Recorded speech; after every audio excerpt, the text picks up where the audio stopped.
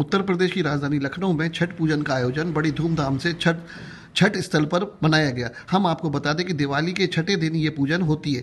इस छठ पूजन में अनेकों श्रद्धालुओं ने एवं धर्म प्रेमी बंधुओं ने धर्म का लाभ लेने के लिए सम्मिलित होकर भाग लिया। इसका आयोजन न्यू हैदराबाद कॉलोनी के सामने छठ स्थल धार्मिक स्थल पर हुआ। देखिए, हमारे संवाददाता अंशुल दीक्षित के साथ खबर एस के लिए मुकेश तिवारी की लखनऊ से एक रिपोर्ट।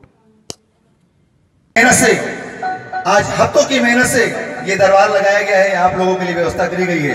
एक बार हमारे इस महाजन परिवार के लिए चलो, जोरदार तालियाँ बजा दीजिए भाई। जोरदार तालियाँ, क्या बात है। आइए।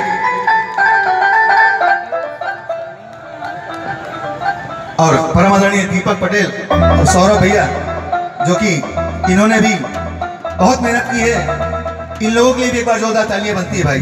जोरदार तालियाँ, क्या बात है। आइए मिल करके सभी हाजिरी लगा रहे हैं। श्री बालाजी ग्रुप के माध्यम से बहुत दूर से चल करके आई। आसाम से चल करके आई।